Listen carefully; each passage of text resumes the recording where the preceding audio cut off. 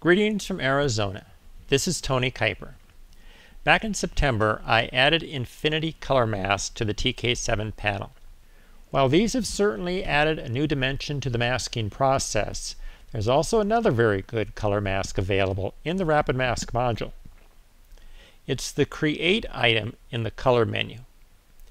This option uses adjustment layers to create a mask preview.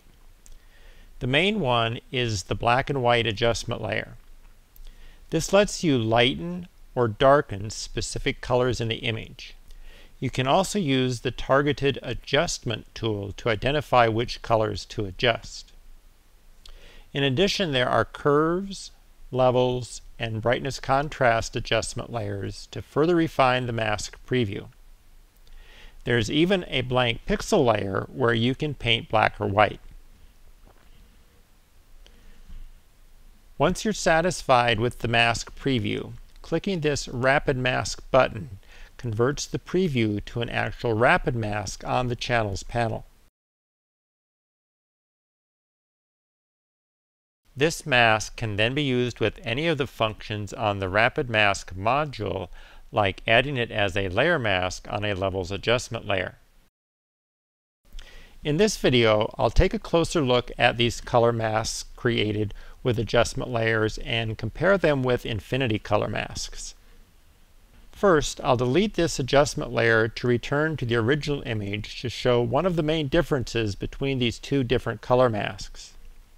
Infinity color masks, accessed using Color Choose, allow you to pick a specific hue from the image using Photoshop's color picker. I'll click on the blue sky and you can see that the mask now targets just the blue tones in the sky. The red and yellow rocks are black in this mask preview, but also black in this mask are the clouds. Neutral colors, like white and gray, are always black in an infinity color mask. Whites and grays have zero color saturation, and that's why they display as black in this type of mask. I'll click the OK button to convert this mask preview to a rapid mask and add it to a levels adjustment layer to darken the sky. You can see that just the blues are being affected. The white clouds remain pretty much unchanged. I'll turn off this adjustment layer and now make a mask of the blue sky using adjustment layers with the color create command. I'll use the targeted adjustment tool to create the mask preview. Here you can see that some of the clouds are now included in the mask. Unlike Infinity Color Mask where the clouds are black, neutral colors like grays and whites are included in the mask generated with a black and white adjustment layer based simply on their brightness values in the image. These gray tones in the clouds means these clouds are at least partially selected by the mask. I can of course use the other adjustment layers to try and make this mask more like the Infinity Color mask if I want. It's a little extra work, but I can probably make the clouds reasonably dark or black in the mask.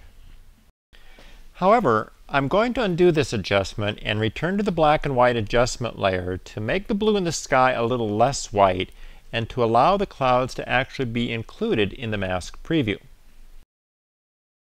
The rocks are already black and well concealed, so I can be a bit more flexible in how I select the sky. Now I'll convert this mask preview to a rapid mask by clicking the rapid mask button and use a levels adjustment layer to again darken the sky. Turning this layer on and off, you can see that the clouds got darker along with the sky, but this feels quite natural. So partially including neutral colors, like those in the clouds, can actually be beneficial sometimes. Now, looking again at the adjustment through the infinity color mask, the clouds here did not get appreciably darker. The feathering is good, but overall, I think I prefer the adjustment through the adjustment layer color mask better. I think it looks more natural to have the clouds get a bit darker to better match what happened to the blue in the sky. So the two different color masks create slightly different results. The difference is in how the grays and whites are selected. When it's better to include these neutral colors, the black and white adjustment layer mask works better than an infinity color mask. Okay, let's use these color masks on another image. This time I'd like to darken the rocks instead of the sky. Again, I'll start with an infinity color mask. Color, choose, and I'll select a color from the rocks. And this already looks like a pretty good mask. The rocks are nice and light and the sky is dark. There are a few areas of clouds showing a slight bit of selection, but the rocks are really targeted well by comparison. So I'll just click OK and convert this to a rapid mask. Then I'll output the mask to a levels adjustment layer and darken the rocks a bit. Okay, that looks pretty good and it was really quite fast and easy with an infinity color mask. I'll turn off this adjustment layer and now try the same thing with an adjustment layer color mask. Color, Create, Targeted Adjustment Tool, and play around a little bit with the sliders. And I can see that this isn't really going to work to make a good selection of the rocks. The grays and whites in the clouds are always selected with this type of color mask, and in this case there's too much of them to separate them out from the rocks. So even though the rocks are a distinctly different color, there's really no good way to select them using a black and white adjustment layer to create a mask preview. However, if I wanted to select the sky instead, an adjustment layer mask would again be ideal, like it was in the last image because it can select both the blue in the sky and the neutrals in the clouds. So since I'm here, I'll go ahead and make a rapid mask of the sky and place it on a curves adjustment layer. Then I'll use an S-curve to add some extra contrast to the clouds. This once again looks very natural and shows that when you have a lot of neutral tones, the black and white adjustment layer mask can be an excellent way to target a specific color plus the whites and the grays. I'll turn the adjustment to the rocks back on and zoom in to 100% to show how good both these color masks are. After these dual adjustments, the edges are still very smooth and natural with no light or dark halos. And this is typical for color masks. They generally blend exceptionally well as long as you don't push them to being excessively white in the selected areas.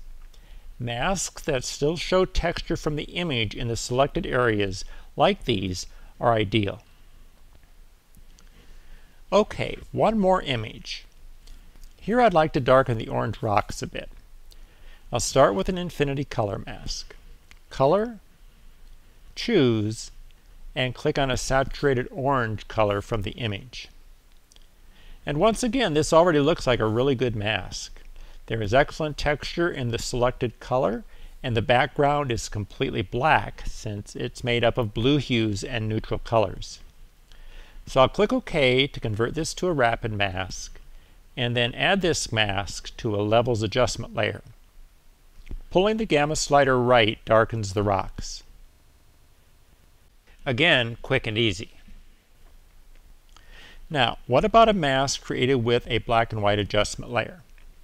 I'll turn this layer off and go to Color, Create to make the necessary adjustment layers. Targeted Adjustment tool, click on the same orange to make it lighter, and I'll make the background colors, blue and cyan, darker. Again, this looks pretty good, but some of the neutrals in the background are showing through a bit, so I might be able to use the levels adjustment layer in this group to darken the background even more. Now I'll click the Rapid Mask button to convert this mask preview to an actual rapid mask, and then output it to a levels adjustment layer. And finally I'll pull the gamma slider right to darken the oranges. Now if I go back to the adjustment with the infinity color mask, you'll see that both these methods achieve pretty much the same results. It was maybe a little easier with the Infinity Color Mask, but also quite doable with an adjustment layer color mask as well. So that's a quick look at the two different ways to construct color masks with the TK7 panel. Since adding Infinity Color masks to the panel, I'm really not using the different color presets much in the color source menu. The create and choose options almost always get me the mask I need. The main points to keep in mind when using these two options are Adjustment layer color mask made using color create and a black and white adjustment layer includes neutrals like gray and white clouds as selected pixels. This can be either positive or negative depending on what you want the mask to select. Infinity Color Mask made using the Color Choose option excludes neutral colors from the selected masks. Gray and white clouds are black in an infinity color mask. And again, this may be positive or negative depending on the image. Infinity color masks are maybe a little easier to make as you get to select your color directly from the image and can narrow down the desired selection more quickly. But in many situations, both types of masks work equally well. The bottom line is that color masks can offer an excellent alternative to standard luminosity masks in some cases. If color is your main selection criterion, one of these color masks is usually the best option. I hope this video has helped you understand how to use color masks a little better. Please experiment with them, and I think you'll be surprised at what they can do for your images. As always, best wishes for good light.